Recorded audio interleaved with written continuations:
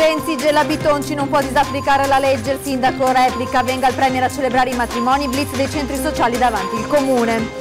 Furto alle poste di Rubano, nella notte i ladri sono entrati negli uffici e sono riusciti a rubare 40.000 euro, indagini dei carabinieri. L'appello di Paolo Noventa a Deborah Sorgato invece di scrivere a Barbara D'Urso parla con i magistrati e dimmi dov'è mia sorella. La denuncia di un pensionato disabile padovano con il nuovo ISEE, la badante diventa reddito e così perde il diritto al sostegno dei servizi sociali. Amministrative di giugno, Luca Claudio spiega perché ha deciso di ricandidarsi a sindaco di Abano Terme, per lui sei liste che lo sostengono. Pianoforte per far suonare i viaggiatori è diventato l'incubo dei commercianti della stazione di Padova, troppo chiasso e pochi musicisti. Tutto pronto per la donata degli Alpini, domenica Rete Veneta seguirà in diretta la sfilata e questa sera speciale focus con le penne nere e i veneti schiacciati dalla crisi.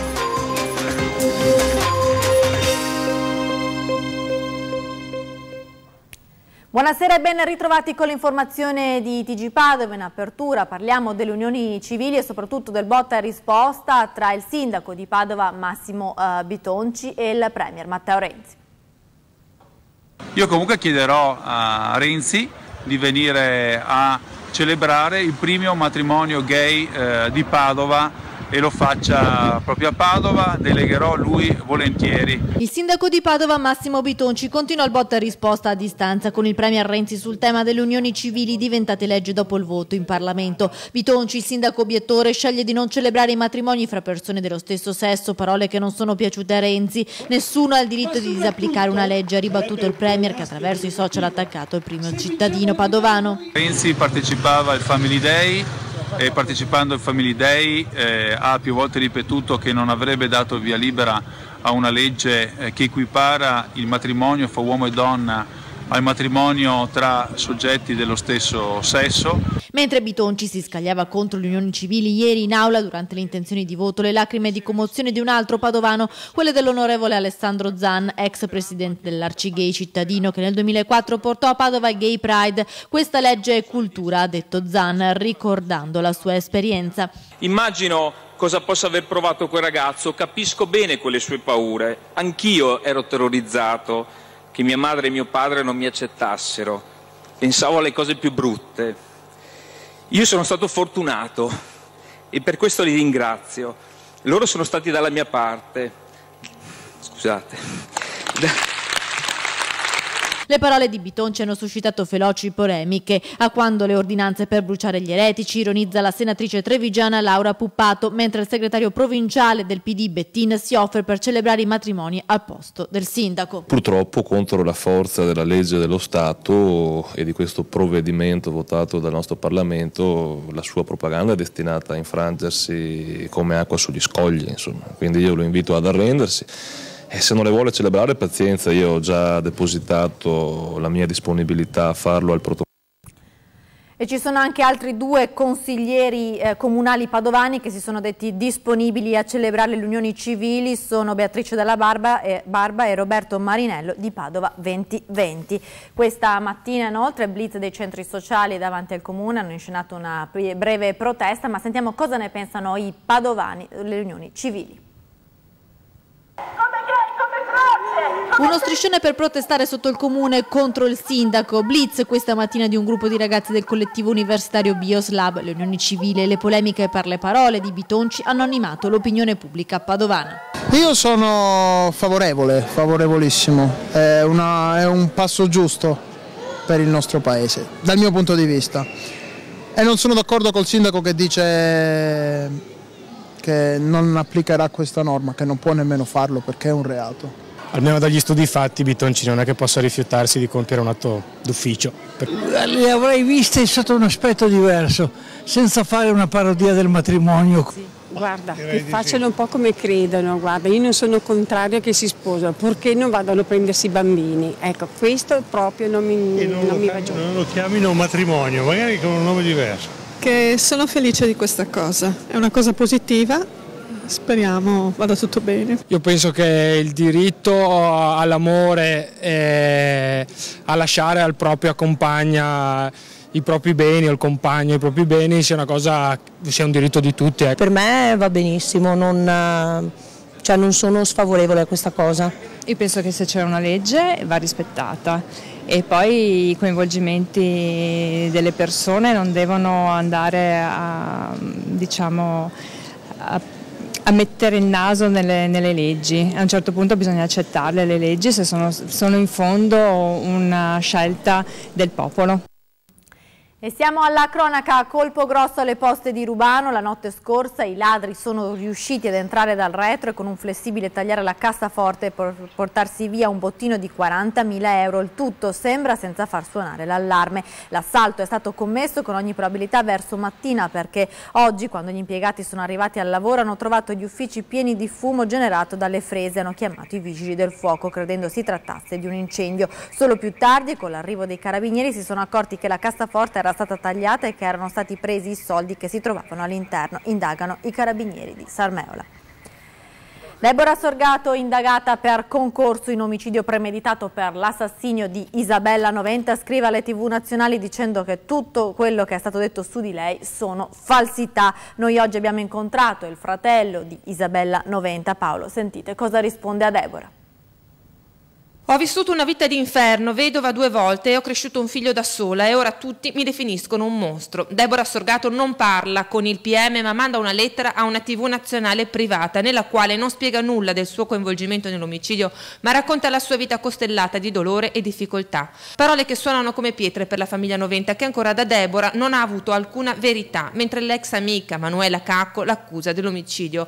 Questo il duro commento del fratello Paolo che oggi è tornato ancora in questura per collaborare collaborare alle indagini. Ha sbagliato indirizzo, doveva mandarla in procura quella lettera più che ai media nazionali, ma mi sembra che involontariamente voglia descrivere eh, che è diventata così cattiva per, sua, per i suoi trascorsi. Non ha detto di essere innocente, non ha detto niente, anzi mi sembra che voglia dire che, che la sua cattiveria è dovuta a, ai suoi precedenti vissuti. Insomma, se Deborah ha qualcosa da dire lo dica al magistrato, sostiene la famiglia. Intanto la polizia giudiziaria ha sentito come persone informate sui fatti alcune ex fidanzate di Freddy per smantellare definitivamente la tesi raccontata dal ballerino al momento degli arresti, ovvero che Isabella sia morta in seguito a una serata di sesso estremo. Ebbene, le donne che hanno frequentato Sorgato hanno detto che i rapporti sessuali avuti con lui erano normali, nessuna pratica inusuale, nessuna pericolosa pericolosa acrobazia. E ora per l'iniziativa io chiamo Rete Veneta, sentite la denuncia, la storia di questo pensionato padovano disabile che a causa del nuovo ISEE si è visto negare il contributo erogato dai servizi sociali. La mia badante adesso non l'ho ancora pagata, sono 438 euro, va bene, mentre fino ad ora i servizi sociali mi hanno sempre dato eh, eh, praticamente il denaro per poterle pagare, insomma finora non ci sono stati problemi, tutto di un colpo Basta, sono diventato ricco. Il signor Giampaolo è pensionato e invalido al 90%. Fino al mese di marzo riceveva dal comune un contributo per pagare una badante part-time. Da aprile il contributo si è bloccato, non perché, come scherza lui, è diventato ricco, ma perché sono cambiate le norme della presentazione dell'ISE. Ho ricevuto una lettera dai servizi sociali di Via del Carmine la quale mi dice che eh, praticamente i, i, le mie dichiarazioni ISE non sono conformi. La badante che lo accudisce chiede al signor Giampaolo di essere pagata. Lui purtroppo non ce la fa, dice, e la situazione lo logora tanto da non dormirci la notte. Il suo non è un caso isolato. La revisione dell'ISEE ha creato parecchi casi come il suo. In attesa che anche l'Inps fornisca un nuovo regolamento, lui chiede che il comune continui a versargli il contributo. Che l'INPS, deve rifare tutti i moduli di richiesta dell'ISE perché quelli che ha fatto finora ultimamente sono sbagliati perché non si può eh, far passare un reddito quando invece è una spesa Ora vi ricordo il quesito del TG Linea Aperta di questa settimana eh, dedicato al business dei profughi tra truffe e false. Continuate a dire la vostra inviando un sms al numero che state vedendo in sovraimpressione o scrivendo una mail a padova-reteveneta.it. Sono gli stessi contatti anche per segnalarci le vostre storie per i nostri e io chiamo Rete Veneta. Ed ora continuiamo a farvi conoscere i candidati del comune di Abano Terme in vista delle amministrative di giugno. Luca Claudio, sindaco uscente, spiega perché ha deciso di ricandidarsi che vince non si cambia ma addirittura si migliora. Noi siamo cresciuti moltissimo con tanti giovani, tanti professionisti, molti delusi dai partiti ormai, che, che credo che la crisi del sistema partitico sia abbastanza evidente non solo ad Abano Terme ma in tutta Italia, anche se in Abano è maggiormente accentuata la crisi ovviamente. Il sindaco uscente Luca Claudio è il candidato con maggior numero di liste a sostegno, ben sei, oltre alle quattro a lui collegate. In questa tornata elettorale c'è anche l'appoggio delle liste Abano Città Sicure con la gente per per la gente. Luca Claudio aveva annunciato la sua discesa in campo già lo scorso ottobre, un modo per replicare alle polemiche sull'indagine della finanza dell'aprile 2015 che lo vede indagato per un presunto giro di tangenti. Si continua a lavorare, il nostro obiettivo è sempre stato quello di mettersi al servizio del cittadino e della gente, abbiamo cominciato a lavorare un secondo dopo della nostra elezione e lavoreremo fino all'ultimo secondo utile, stiamo continuando anche in questi giorni, quindi non perdiamo tempo a criticare o ad attaccare gli altri come stanno facendo, ma il tempo nostro principale principale, come vedete siamo ancora qui in comune in pieno lavoro. Continueremo a lavorare per Abano, ha detto il sindaco uscente, ricordando l'impegno per la valorizzazione del termalismo portato avanti nel mandato che si sta per concludere. E invece noi siamo riusciti ad arrivare ad avere la presidenza dell'ANCOT, con l'ANCOT stiamo lavorando tantissimo, abbiamo portato Abano ad essere la prima località termale a tutti gli effetti. Lasciamo in eredità un più 7% di quest'anno, l'anno in cui è cresciuta meno è stato un più 1,8%, mentre tutte le località turistiche termali d'Italia chiudono dal meno 12 al meno 26%. Nelle ultime settimane si è accesa la polemica sul pianoforte che si trova in stazione a Padova, un'iniziativa nata un anno fa con l'obiettivo di regalare qualche minuto di relax ai passeggeri, ma ora sembra che i negozianti non lo vogliano più.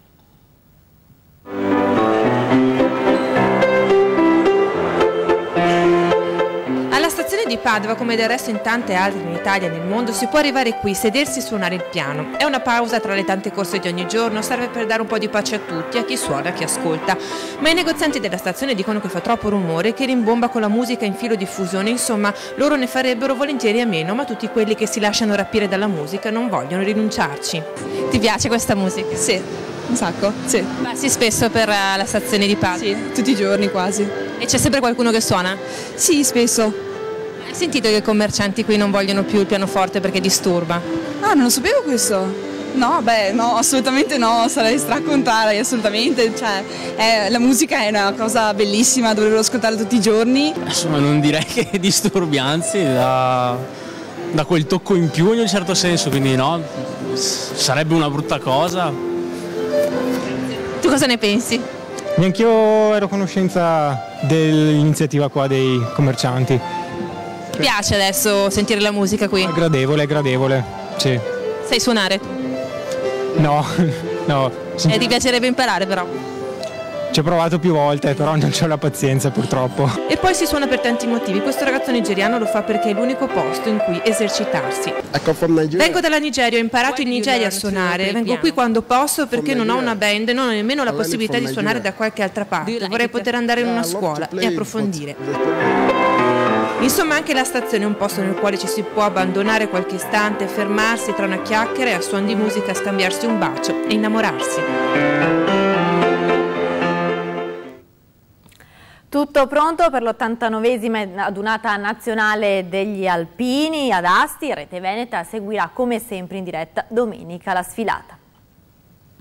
Una grande sezione come quella di Padova Molti alpini padovani sono già in viaggio verso Asti, tutto è pronto per l'89esima edizione della Dunata Nazionale delle Penne Nere che arriveranno da tutta Italia per il tradizionale appuntamento che culminerà con la sfilata. L'evento sarà seguito anche quest'anno da Rete Veneta che domenica mattina a partire dalle 8.30 trasmetterà in diretta le immagini emozionanti della sfilata delle Penne Nere.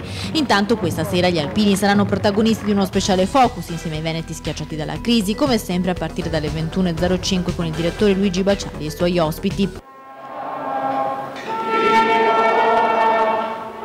Ad Asti le manifestazioni inizieranno già domani con l'alza bandiera che darà il via ufficialmente all'edizione numero 89, tre giorni per celebrare i 155 anni dell'Unità d'Italia, il secolo della Grande Guerra e i 70 anni della Costituzione della Repubblica Italiana. Saranno migliaia di alpini padovani che parteciperanno alla Dunata che per questa edizione ha scelto la città piemontese che dopo 21 anni torna ad ospitare gli alpini con le loro tradizioni.